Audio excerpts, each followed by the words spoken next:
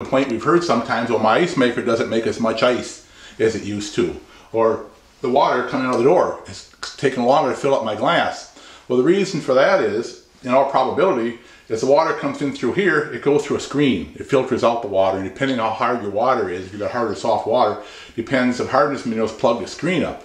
And as more and more minerals build up on the screen, less and less water can go through it, and therefore the water that's coming into your ice maker or coming out, coming out your door is reduced.